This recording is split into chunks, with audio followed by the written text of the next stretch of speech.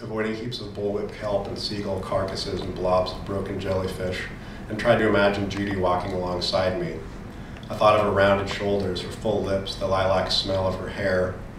I picked at memories of New Year's in Brooklyn, our month in Morocco, our last phone conversation about whether or not we needed fresh half and half. I waited for something to happen, but nothing did. Her voice didn't whisper from the rocks or the sky, sea, the sky didn't open. I felt no tingles down my spine. I couldn't say I was surprised, really. Judy was a practical person, and ghostly visitations didn't seem like her style. Our love had never been the flamboyant kind. I came to a giant rock and watched the waves smash against its wall, pulverizing into mist. The orange sun touched the horizon. Overhead, the stars were beginning to speckle the dark shell of sky, and a flock of gulls keeled near the trees.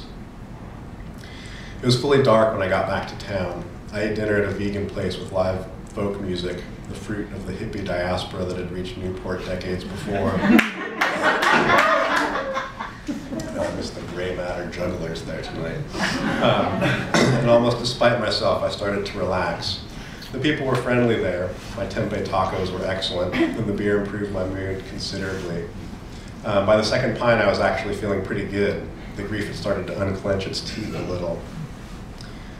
Eating alone wasn't always so bad, I had to admit. Not for, uh, not for that matter was, or nor for that matter, was waking up in an empty bed or going to the movies in the afternoon or sitting in a coffee shop watching the traffic go by. On some level, if I was really honest with myself, I was beginning to relish my newfound solitude. I'd enjoyed making the small decisions. I enjoyed making the small decisions about which way to turn on the beach or what restaurant to try. I liked the slight puzzle a single man my age seemed to pose. It couldn't exactly, I couldn't exactly admit these feelings to anyone. I was supposed to be in despair and all, but out on the coast, away from my daily routine, I could at least begin to admit to myself a glimmer of optimism was kindling.